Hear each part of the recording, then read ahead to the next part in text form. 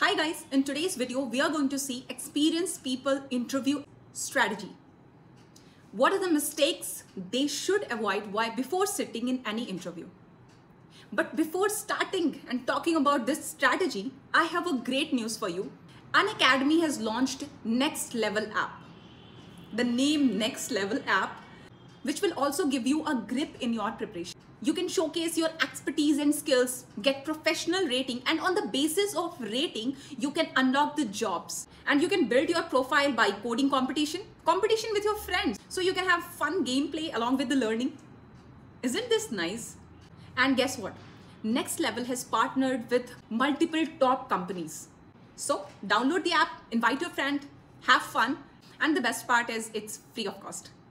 Download this app, you can use my referral code in the description to get an easy access to the content and become an early adapter of this app. All the details related to this app and the link is there in the description. You can go ahead and download the app. Now let's jump into this video. Uh, let's dig into the preparation strategy. Basically, there are two ways anyone can approach to prepare for an interview. What are those?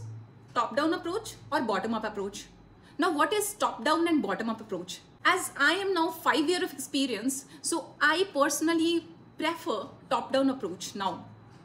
But as a fresher, I used to follow bottom-up approach. Now let's go brief into the strategies. What is top-down approach? As a fresher, you know what exactly is needed in an interview. But with experience, you don't know what is there in the market and what is the version or the technology is in demand in the market or you may be working on some profile but you want to switch your profile from X to Y on based of your experience and little bit expertise because throughout the five year you became that much expertise that you know what path you should go for. And this is the right time i personally believe that you should follow top down approach. Top down approach means sit in an interview first then start your preparation accordingly so it's completely okay to start with embarrassment uh, embarrassment of not knowing anything in an interview I mean, it's okay to get rejected at the first place. With your interviews experience, start making notes, start asking questions from your interviewer, start taking feedback from your interviewer, not related to how you performed in an interview, but what you can do to improvise yourself or where you should focus to fit into this role. Make a note of each and every interview questions, each and every topics and start preparing on based of your notes. Then start appearing for for number of for multiple interviews again and again with along with your preparation. So how it will help you? You will keep on making note and you will start uncovering the level of your interview. So once you start sitting in an interview and you start taking notes then you will start preparing yourself according to the notes and you will go deeper and deeper into that uh, topic. So basically going deeper means setting up a level like what is expected from you and go and sit in an interview and see the level how much deep they are going in any technology or suppose any language how much deeper they are digging. So with this you will get an idea like okay with a from a five year of experience this is what expected. This much level is needed for my preparation it won't take much time of yours because you are sitting in an interview with a purpose purpose of analyzing the roles what is there to lose? You won't lose hope. You won't get demotivated because you are sitting with a purpose, not for an offer. Now, meanwhile, remember one thing never do this mistake. Never make the interview, the profile based interview, to go into your direction because they are looking for some profile. If you are not fitting into that profile, they will simply reject you. Are you getting me? So profile based interview is different than a fresher or a mass hiring interview. In the mass hiring, you make the interviewer go into your field of interest and you make the interviewer ask questions from your field of interest and you crack it. But in the profile based interview, it is not the same case. If the interviewer thinks your profile is not matching, they will simply reject you even though you are good in your field of interest. So never make your interview going in your direction while you are sitting for a profile based interview. Try to know the questions or know what interviewer is expecting, what interviewer is expecting from you. what is expected for that role. This is the scenario when you want that profile, okay? But if you think I want the exact profile I worked previously, then you can be honest with the interviewer.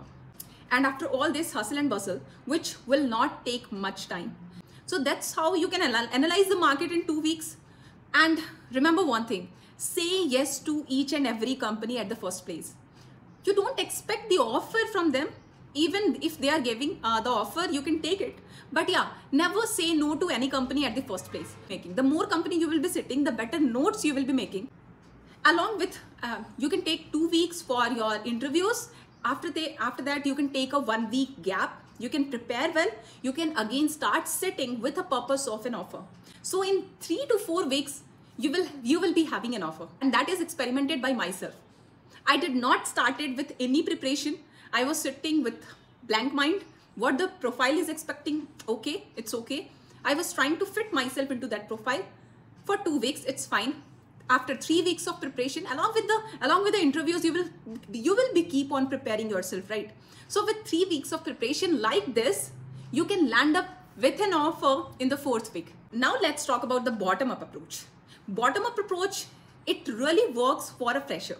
Because freshers are sit or a mass recruitment. In mass recruitment you don't know the profile so they will recruit in mass and any of your uh, speciality is good for them right. So if if there's a mass hiring or if there is a, like a fresh fresher hiring then you can go with the bottom up approach. Bottom up approach means bottom up approach means you will start your preparation like what you know and then you will start sitting into any interview. So one or two weeks of preparation then from third week you'll start sitting in an interview.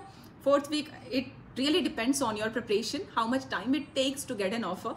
But this approach could be exhaustive and it could be like demotivating while you lose the offer because you mentally know I have worked so hard, I have prepared so well for this profile, but I'm not getting it. So it is kind of mentally exhausting. I think it is exhausting for me as experienced people looking for a good offer. So I personally believe that top down approach really works for worked. It really worked for me. At the end, both the approaches are right and it really depends on you. What demotivates or exhausts you? The preparation or the rejection? So if the preparation exhausts you then go for top top down approach. If the rejection exhausts you then go for bottom up approach. So it really depends on person to person. What demotivates them what exhausts them. So hope you like this video and the preparation strategy if you like this video, don't forget to press thumbs up and subscribe to my channel if you haven't subscribed it yet. Thank you guys. Thank you for watching.